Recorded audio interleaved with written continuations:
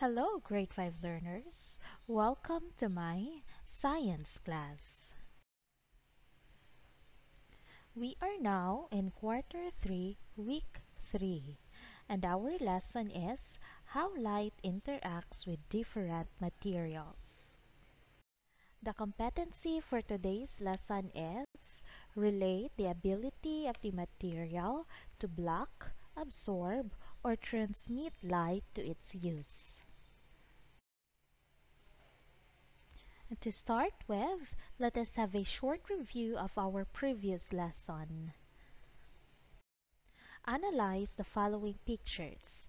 Classify them as conductor or insulator. Write your answer on your paper. Copper wire Conductor Metal spoon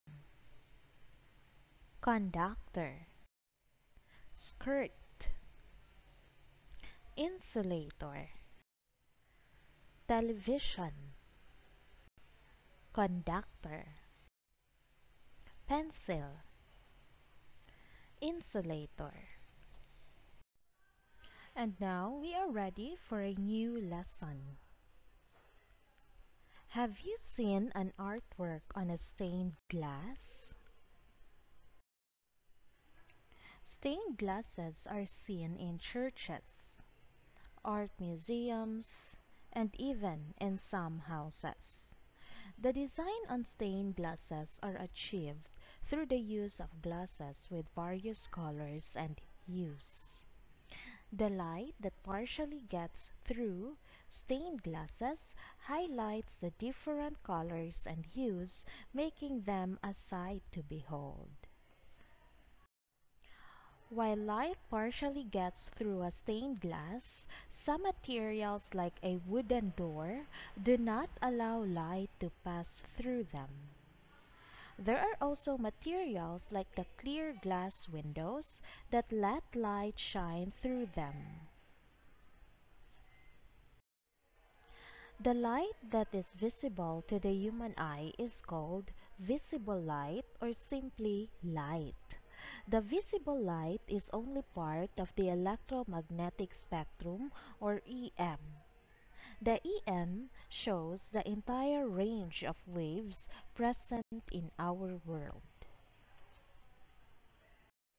The primary source of visible light is the sun. The visible light allows us to see the color that is not absorbed by the objects. For example, we see most plants are green because the leaves absorb all colors of the visible light except green. To understand light farther, we have to study how it interacts with different objects. This branch of science is called optics. Optics is a study of the refraction, reflection, absorption, and transmission of light. Refraction Refraction refers to the bending of light as it passes through different materials. For example, the straw in a glass of water appears bent because of the different parts of the material that interact with light. The part of the straw that is not dipped in water interacts with the air, while the part of the straw dipped in water interacts with the water.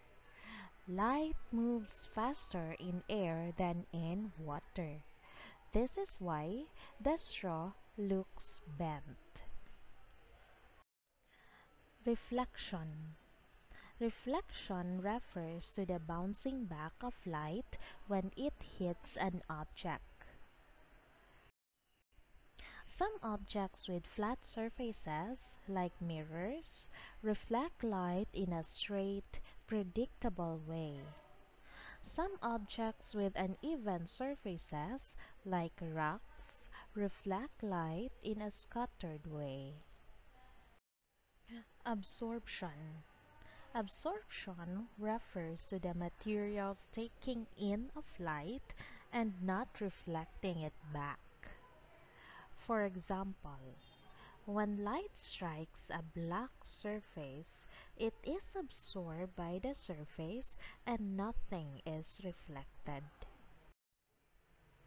Transmission Transmission refers to the passing of light through some materials.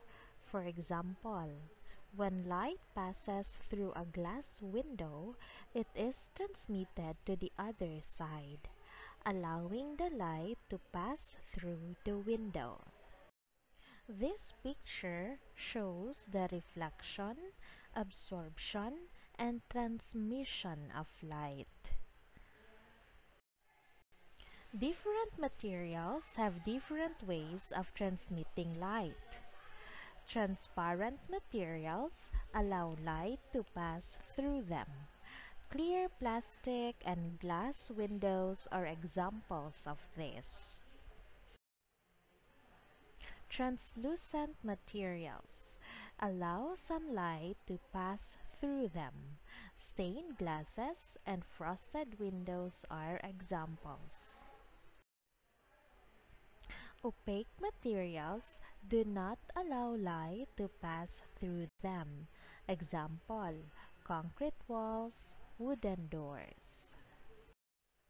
And now, you are ready for a short activity. Please do the following procedures and answer the questions that follow on a paper.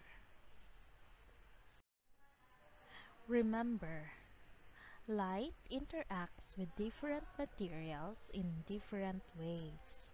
It gets reflected by some smooth, flat surface. Light can pass through transparent materials, can partially pass through translucent materials, and cannot pass through opaque materials. And now, we are ready for a test. Test A. Match column 1 with column 2.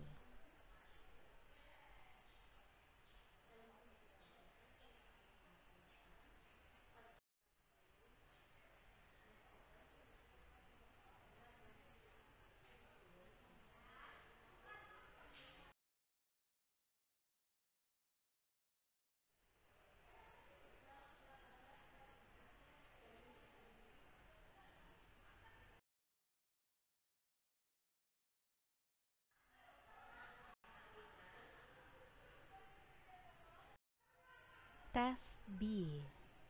Identify the following objects as transparent, translucent, or opaque.